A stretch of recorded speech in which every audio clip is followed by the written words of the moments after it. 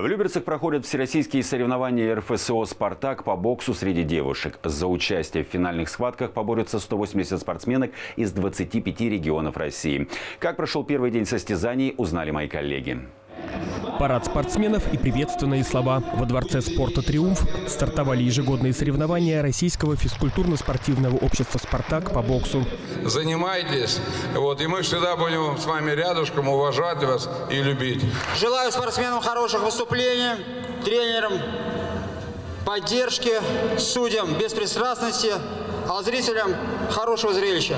Алина Романова занимается боксом почти 6 лет. В прошлом году на соревнованиях РФСО «Спартак» завоевала серебро. Сейчас по результатам предварительных боев одержала победу. Ну, самым трудным было, что очень много ударов, и тяжело это отбивать, просто перебивать очень тяжело. У меня с детства такая тяга к спорту прям огромная. И я мама попросила вот 5 лет, но в 5 лет она мне еще не решилась отдавать. Вот 8 лет она меня отдала.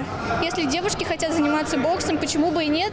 Э, вообще у спорта нет пола, и как бы почему бы и нет, если это нравится. В напряженных поединках боксеры проявили свое мастерство и волю к победе. Каждая спортсменка готова стоять на ринге до конца.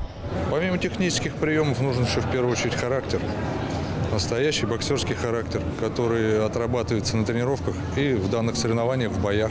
Вот это все в купе и даст победу.